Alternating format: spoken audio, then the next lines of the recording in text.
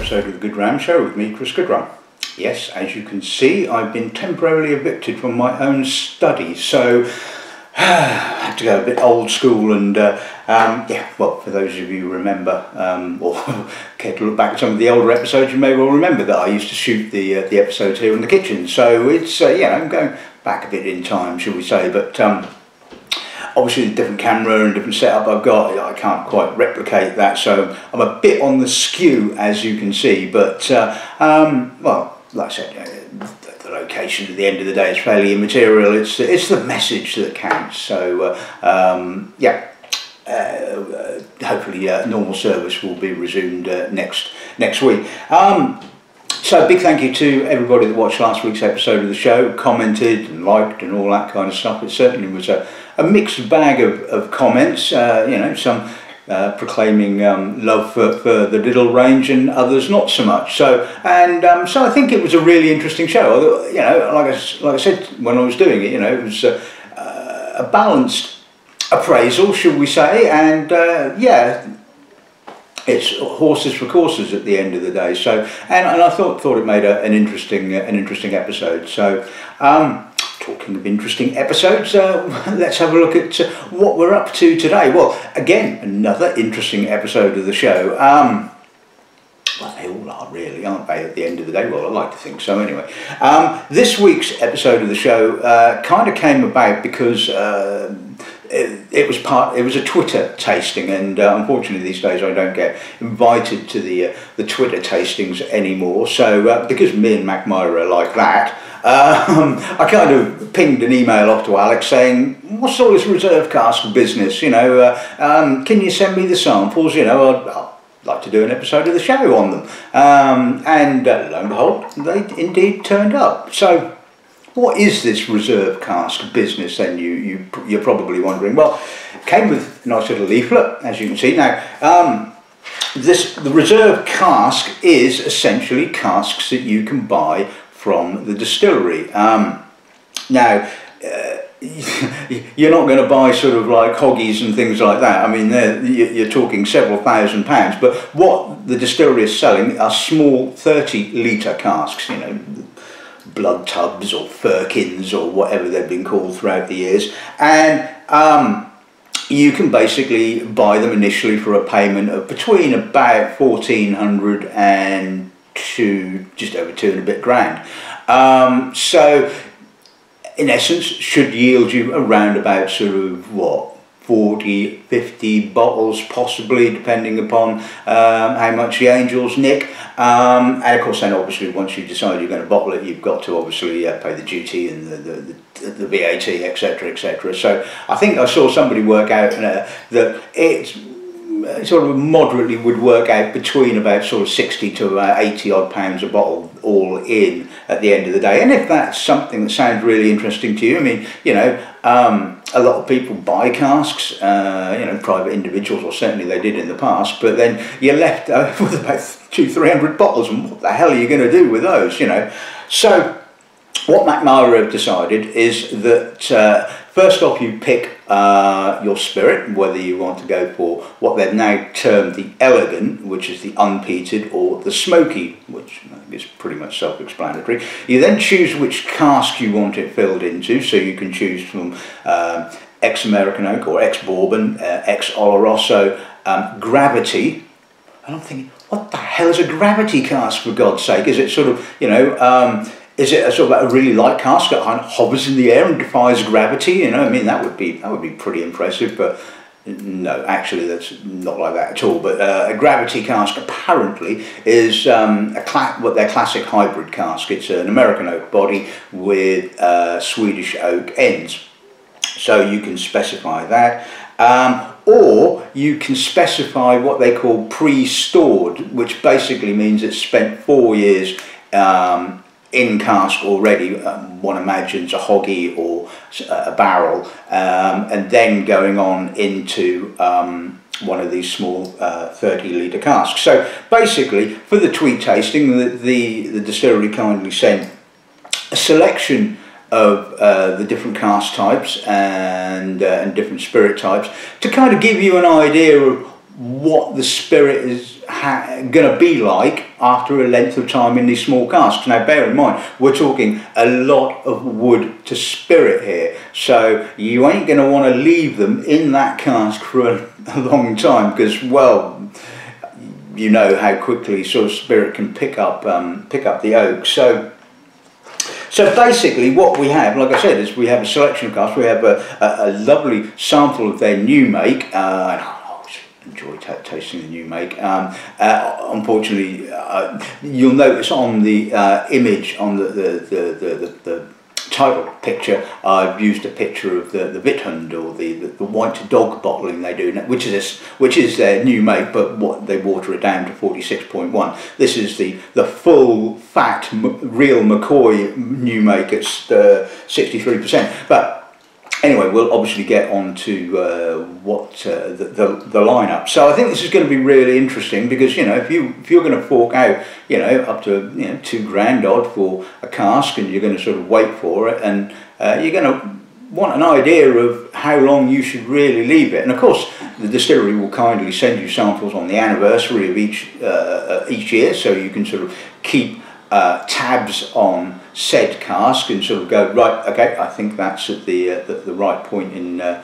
uh, its evolution. But like I said bear in mind you're not going to want to leave it in there. And of course this then brings up the whole issue which I think I tackled with um, oh the, that uh, Swiss uh, Swiss distillery um, the name completely eludes me. The fact, basically it's yes you can have a lot of oak character, you can generate a lot of oak character, but if your spirit isn't uh, mature, hasn't developed from maturity, you're just going to end up with a sort of like a mouthful of oak and young spirit. And is that the, the, what happens here? Well, we shall indeed find out. But that's always something you have to kind of keep in the back of your mind that uh, um, yes, you might have a lot of oak character in your spirit, but it may well not actually be yeah, but anyway. Um, so uh, that's that's enough waffle. I think. Uh, let's um, have a look at the lineup.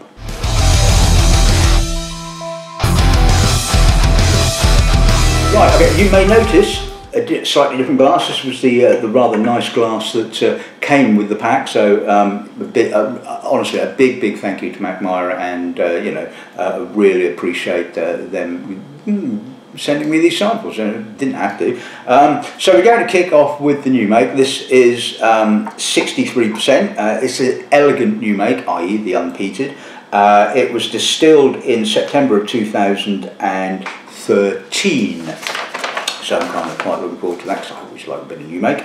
Um, the second bottling we'll be looking at is uh, the Gravity cask, which like I said is the hybrid American oak and Swedish cask. This is, uh, right, so it's Elegant um, Spirit to start off with. Um, it was um, uh, distilled in May of 2012. Uh, now I'm assuming these had all been bottled pr previously because this was allegedly bottled in November of 2017. So these were probably either things that had been cask. I mean, because you may well know that when Angela was making up the sort of um, the, the, blend of cask types for the various bottlings they do, they quite often use the reserve casks and I'm guessing they're going to have a, an intensity of oak. So you know again it's sort of like well are they really a component? Will they be you know will it be sort of pleasant to drink? I don't know. Um, so this one like I said this is the elegant gravity reserve cask distilled in 2012 bottled uh, November 2017 five years old and 55.2%.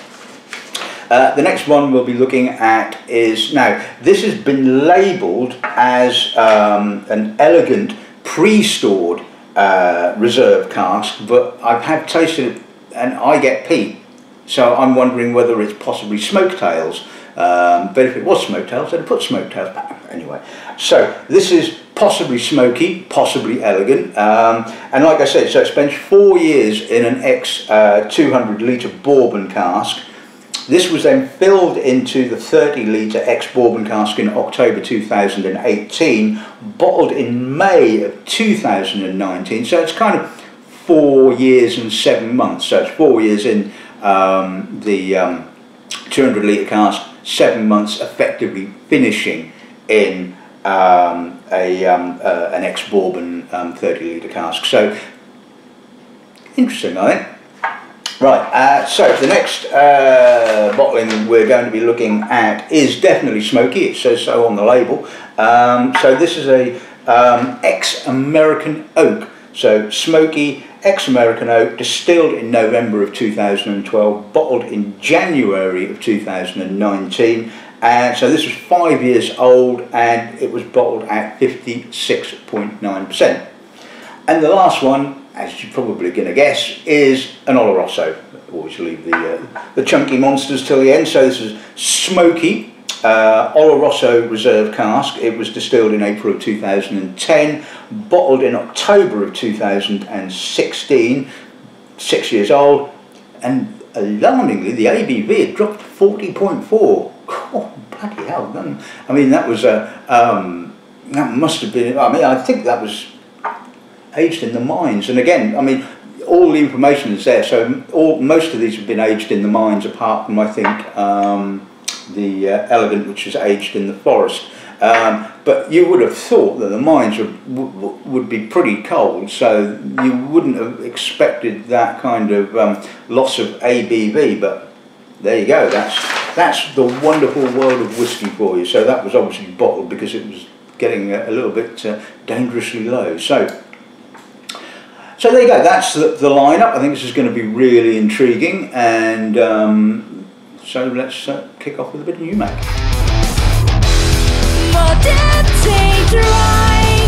Right, okay, so new make. Let's see what the nose gives us. Okay, there's a little bit of faintiness. I mean, you kind of expect that. Um, a little bit of an off the still note, but oh, you know, that is really fruity, really juicy, tropical, peach, pear, pineapple. Um, oh, yeah. Now, as you well know, Mackmyra is a lovely fruity spirit, and this just shows it in absolute spades. Um, touch of apple blossom, little minerality, just a smidgen. Um, but what a base spirit. I mean, you know, this is, you can see why it's bottled um, and sold at Vitland, um, because, you know, it's, yeah, pretty much drinkable now. I mean, that is just such a clean, lovely nose. See what it smells like.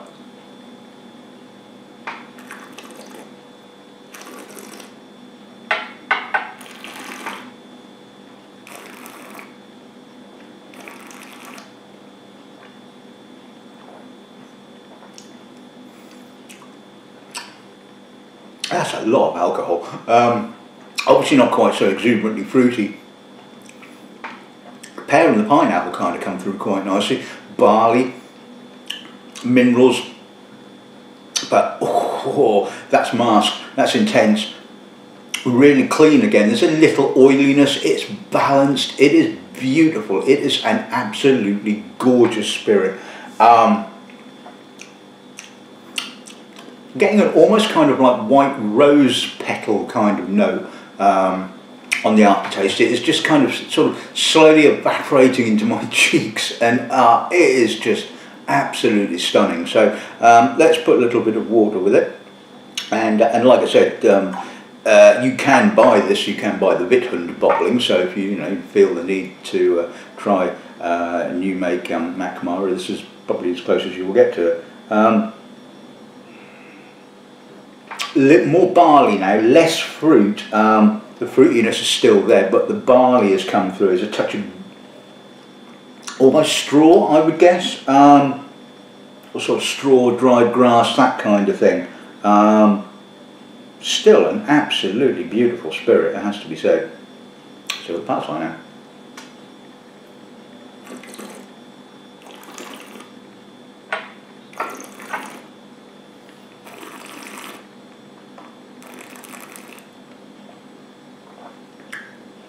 Still wonderfully fruity, not quite so tropical.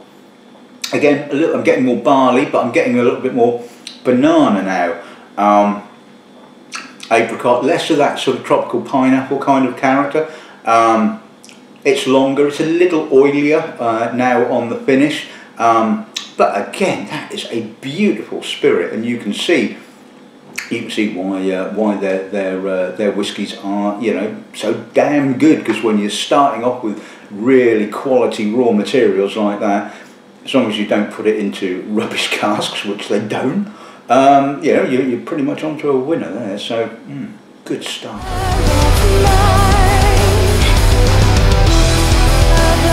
Okay, so let's move on to the Gravity Reserve cask. So, like I said, this is a, a 30 litre American oak or uh, ex bourbon cask, sorry, um, with the Swedish ends. So, this has been um, maturing for five years.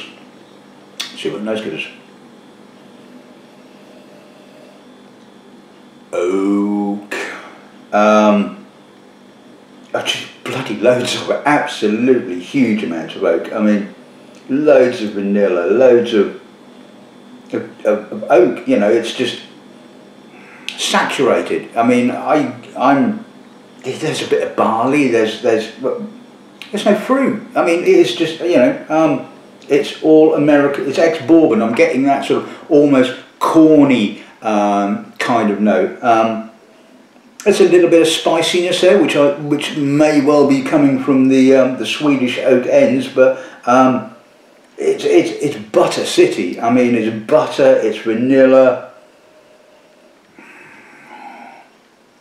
No, um, that had been left for far too long in that cask. Um, and, and underneath it, yes, the spirit is a bit, I wouldn't say fainty, I mean, because obviously the new make isn't very, very fainty to start off with. It's got a nice cleanliness to it, but you can, you can feel the youthfulness kind of behind all of that oak. And I, although I, I won't say it's imbalanced, um, well, well, yes, I will actually. It is, it is bloody imbalanced. It's all oak and, and nothing else. But, um, you know, it's not kind of, it's just kind of doesn't feel like it's, um, it's not come together. I mean, that's, that's the problem. Um, and it's just basically showing that these small casks are just too intense for, for, for even for five years. Um, five, five years, yeah, five years. I mean, right, okay, what pass on.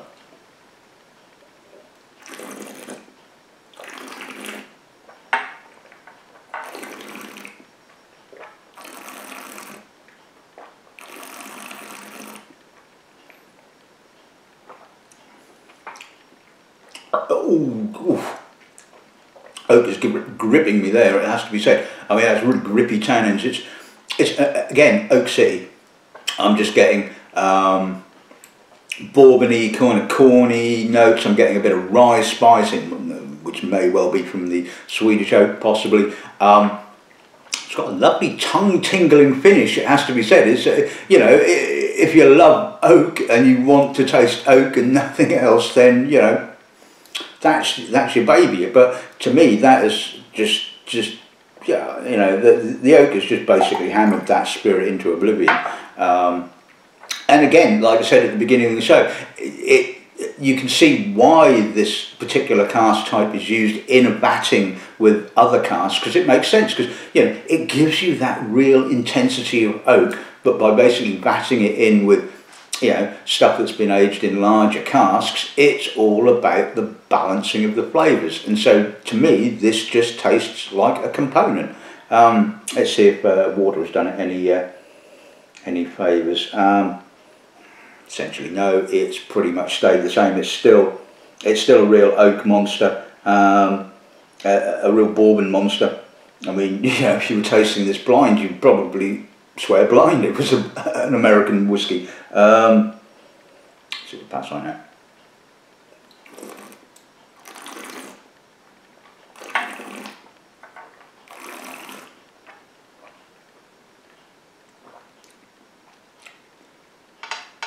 Yeah, pretty much the same. It's just all oak, um, no spirit, drying, not particularly bitter, it has to be said. The tannins are not bitter, they're, they're just grippy and they're gritty and they're slightly spicy. And like I said, if you like that sort of thing, if you like a lot of oak with your, your whiskey, then, well, that's going to do the job for you. For me, mm, I would just like a little bit more balance.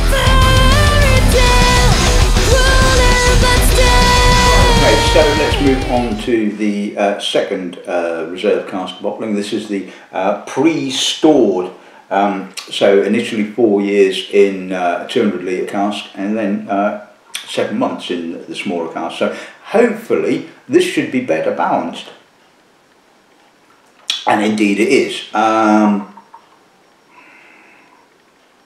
so like I said, you know, this is labelled as elegant, but I'm certainly getting an astringent peat note here. Um, so, I mean, as you know, Mackmyra use, when they finish the, the, the, last peated run, they'll basically flush out the tubes, for want of a better word, with the next unpeated run, but they will collect that separately, and they call it smoke tails. Um, which I think is really cool. Um, I mean, it's just, you know, it really is. Um, and I I think this could possibly be it, or it just could be mislabeled. Um, anyway, this is a lot more balanced. Um, I'm certainly getting the barley, I'm getting the astringent peat, I'm getting a bit of wood, um, a bit of vanilla. I mean, that is absolutely lovely. And so this is obviously for me, this is where I would be going. I would be basically saying, right, let's buy one of these pre-stored casks. Um, I only need to give it sort of six months in in the oak. I mean, yes, they're a little bit more expensive, um, but by far and away, this is the, the, the best balanced of the of the two that we've had so far. Um, see what that's like.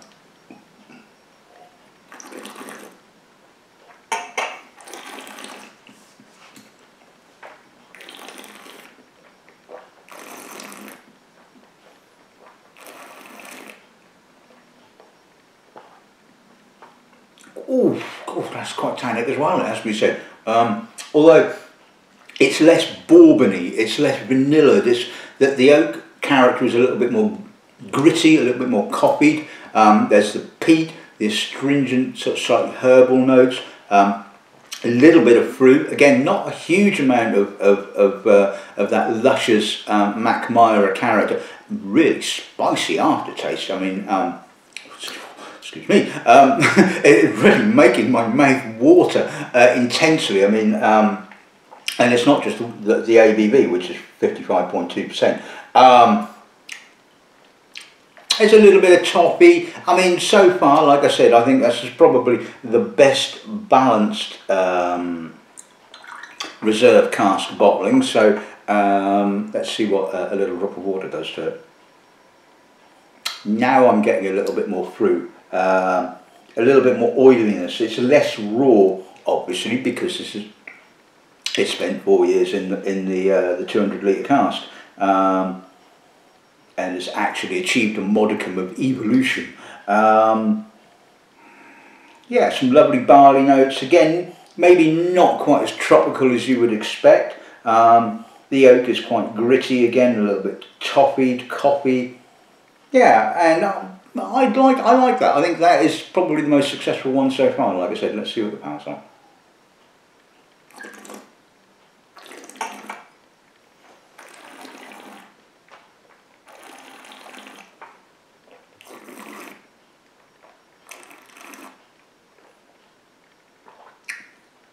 Again, still quite woody. Peat has dropped off a little bit, but it's sweetened. It's got a sort of almost kind of violety note to it, but um, still quite earthy, a little bit of stringent saltiness. I'm getting that kind of um, wet stone kind of character. Um, I mean, again, I mean, I'm pretty certain this was, uh, yep, it's from, it was matured in the in the Bodas mines, and whether that's kind of, in, you know, uh, influencing my my taste buds and sort of saying, well, that could be a stony minerality, you know, it's aged in the mines, but it really does. Um, and um, got a nice length, sweet barley on the finish. Certainly, like I said so far, the most uh, the most successful of the reserve cask bottlings.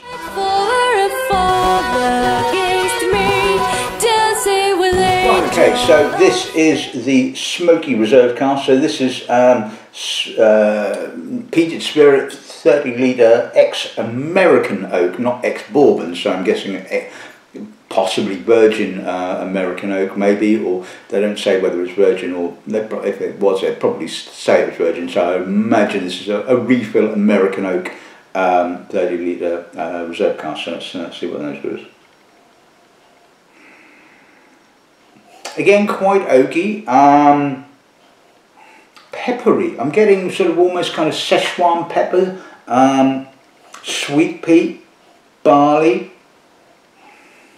The oak is obviously not so bourbony uh, and a little bit tighter.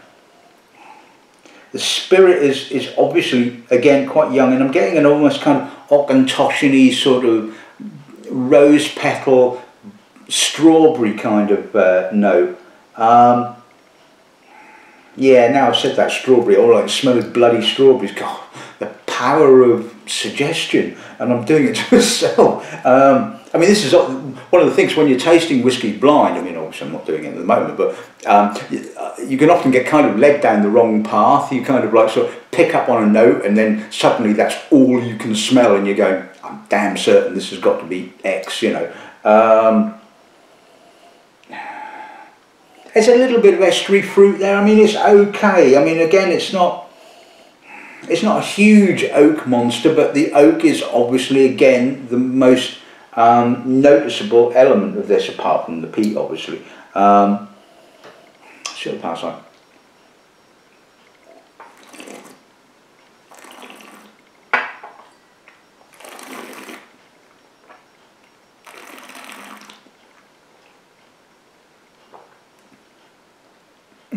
Gritty, smoky, earthy, peaty, tannic. Again, it doesn't quite have, the sweet um, Mackmyra fruit or the sweet vanilla bourbony kind of character. It's a little bit more aggressive, a little bit more sort of grabbing you by the nads kind of thing. Um, it's got lovely intensity. I really love the intensity. It's, it is it basically is taking no prisoners, should we say? And again, I'm getting that sort of Szechuan pepper kind of aftertaste, and it's really sort of tingling in my cheeks. It has to be said. Um, okay, yep. So that is, I wouldn't say hundred percent successful, but again, I think if I was going to opt for one of these reserve casks and wasn't going to go down the pre-stored route, then this one seems to work quite well because again, although there's a lot of oak, the oak is not so bourbony, it's not so like I can taste what was originally in you, if you see what I mean. So, um, hmm, yeah.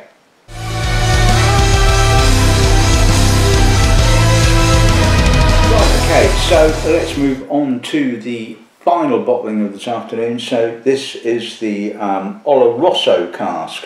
30 litre Oloroso cask, six years in said cask.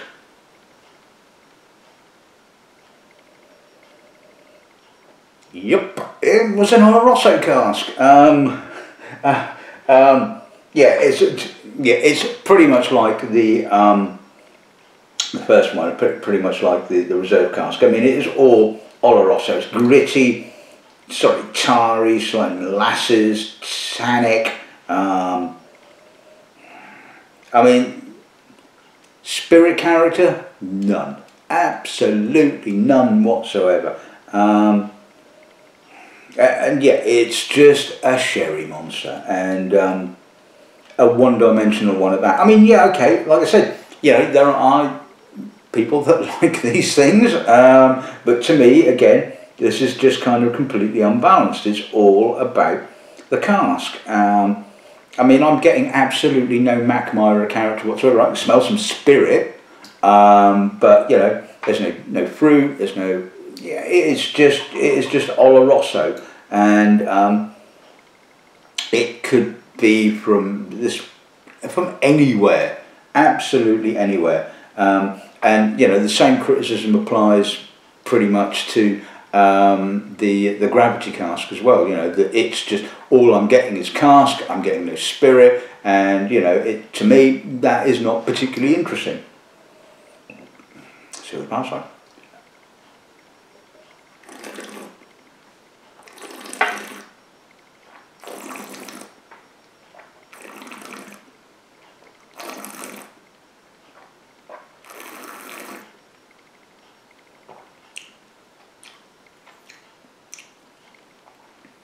burnt raisins, uh, slightly sort of herbal oloroso, um, dried fruit. Yeah, it's the, it, exactly the same as the nose. It's all about the, the Oloroso cask and there is absolutely zero, zero distillery character there whatsoever. It's just like I say, it could have, that whiskey could have just come from any distillery. Um, and I think if you're going to go for one of these 30 litre Oloroso casks, I think uh, you're probably better off going for a pre-stored uh, cask and then effectively giving it a sort of six month finish in one of these small um, uh, Oloroso casks. Because that is just it's just wholly and totally and utterly unbalanced um, and really the least interesting. Um, and um, and it's peated as well and, and I don't really I'm, I'm, yeah right I'm getting a little bit of smokiness but you know um, there's just you know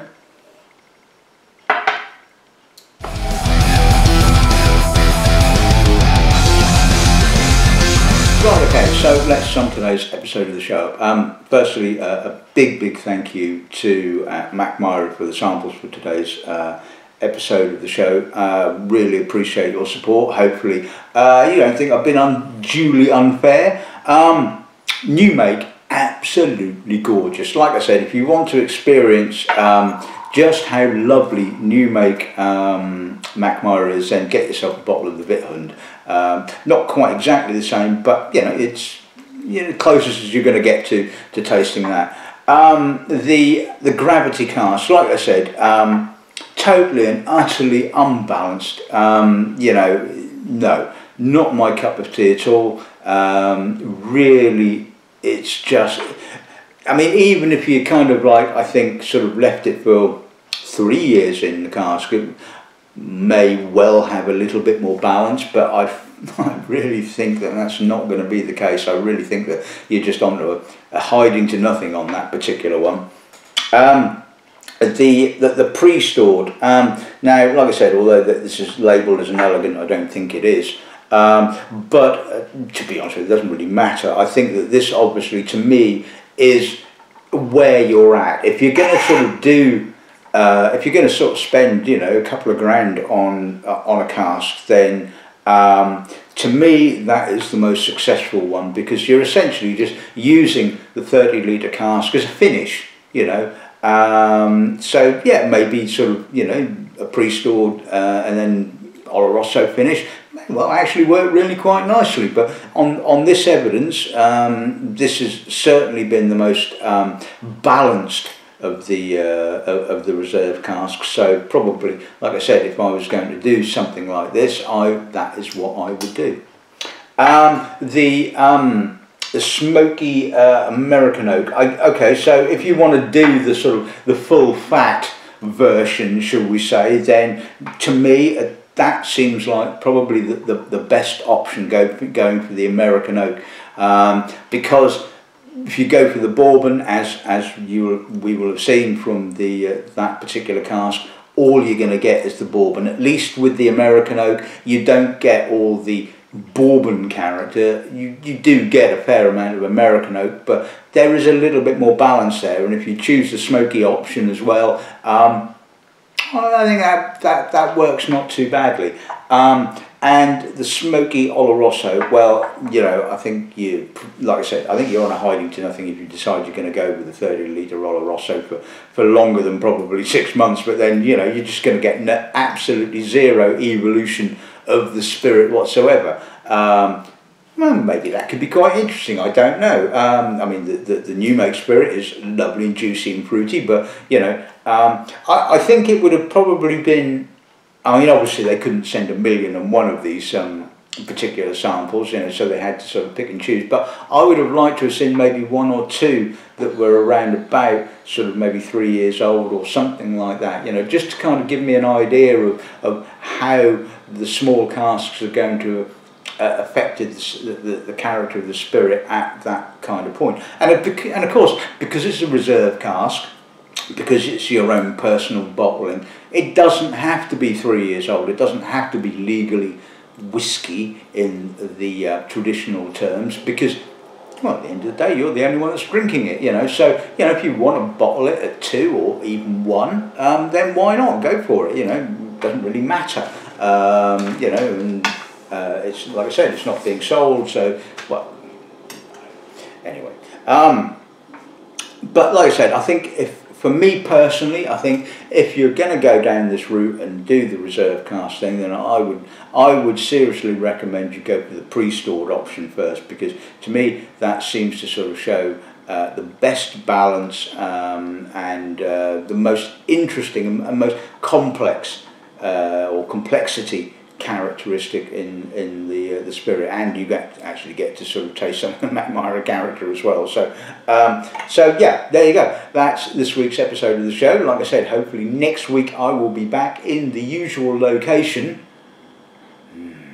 Uh, but until then, all that's left to say is good afternoon and good running.